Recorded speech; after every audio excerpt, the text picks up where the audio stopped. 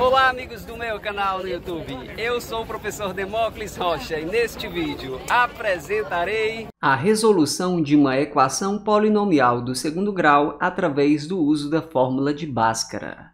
Se você apoia esta iniciativa, já deixe o seu like. Se quiser ficar sabendo sempre que a gente lançar um novo vídeo por aqui, inscreva-se no canal e acione o sininho das notificações. Vamos lá! X ao quadrado menos 3x menos 10 é igual a zero.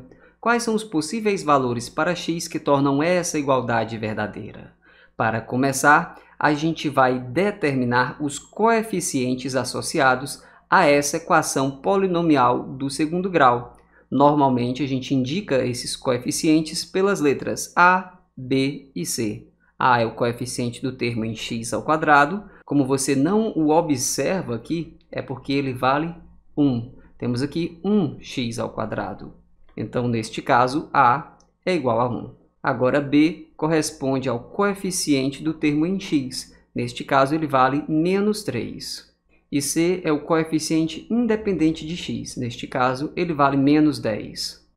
Pronto. Agora, nós vamos calcular o discriminante associado a esta equação polinomial do segundo grau, o famoso delta. A fórmula do delta é assim: b ao quadrado menos 4 vezes a vezes c. Delta é igual a b ao quadrado menos 4ac. Vamos ver como é que fica neste caso. Neste caso, b vale menos 3. Como ele é negativo, eu vou colocá-lo aqui entre parênteses, porque o b aparece ao quadrado. Então, temos aqui menos 3 entre parênteses ao quadrado. Em seguida, a gente tem esse menos 4, ele é da fórmula, sempre está presente. E ele aparece multiplicando o valor do A, que neste caso é 1, e em seguida a gente ainda deve multiplicar pelo C, que no caso é menos 10. Como ele é negativo, eu vou colocá-lo aqui entre parênteses. E vamos em frente. Bem aqui você tem menos 3 assim, entre parênteses ao quadrado. É o mesmo que menos 3 vezes menos 3. Na multiplicação de dois números com sinais iguais, o resultado é positivo, e 3 vezes 3 é 9.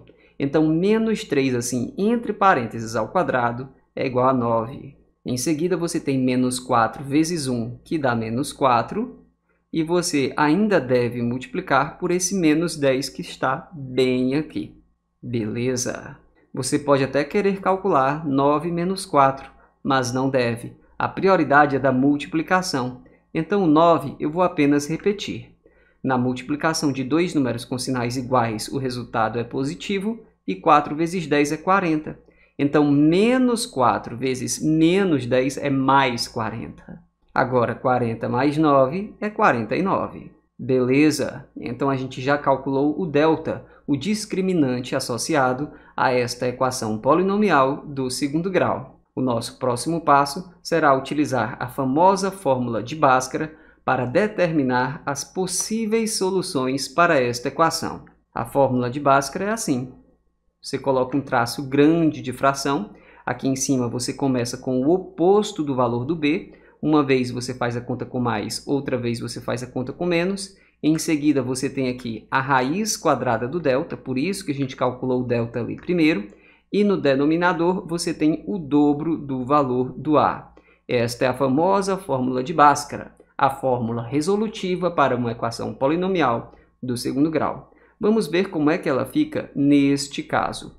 A gente tem um traço grande de fração e a gente tem aqui ó, o oposto do valor do b. Neste caso, o b vale menos 3 e o oposto de menos 3 é mais 3. A gente coloca aqui simplesmente assim, 3. Uma vez a gente faz a conta com mais, outra vez a gente faz a conta com menos. Em seguida, eu vou ter aqui a raiz quadrada do delta. Só que neste caso, o delta é quanto? 49. Então, eu tenho aqui a raiz quadrada de 49. Mas qual que é o valor da raiz quadrada de 49? Você vai dizer que a raiz quadrada de 49 é 7, até porque 7 é um número positivo que multiplicado por ele mesmo dá 49.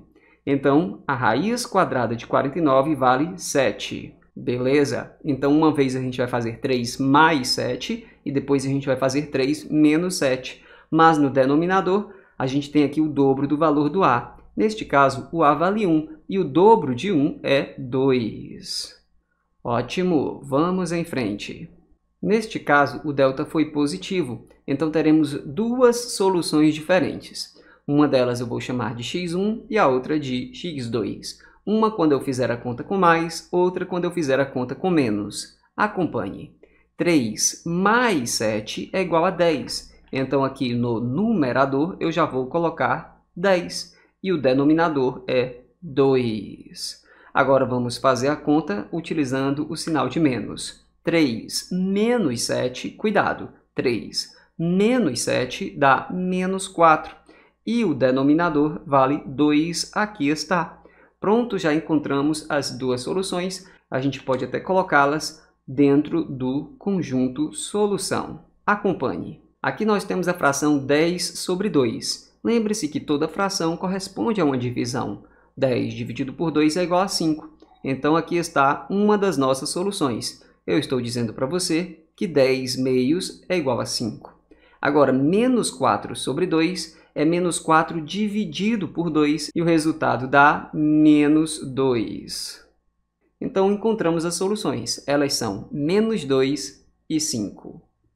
Isso significa que se você substituir x aqui e aqui por 5, você vai ter uma expressão numérica cujo valor de fato é igual a zero. Se você substituir o x aqui e aqui por menos 2, você vai ter uma expressão numérica cujo valor de fato é igual a zero. Agora, se você substituir x aqui e aqui por qualquer outro número que não seja menos 2, que não seja 5, aí a expressão numérica que você vai ter aqui do lado esquerdo não vai ser zero. É por isso que menos 2 e 5 são as soluções desta equação polinomial do segundo grau. Eu espero que esse vídeo aqui tenha te ajudado. Se ele ajudou, deixe um comentário com uma carinha sorrindo, eu vou gostar de ver.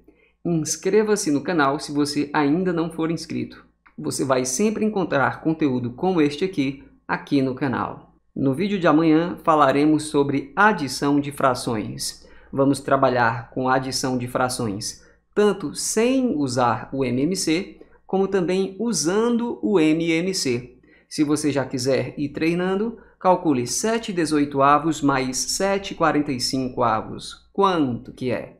Amanhã, este vai ser um dos exemplos que a gente vai apresentar no nosso vídeo às 19 horas. A gente fica por aqui, um abraço e até a próxima. Tchau!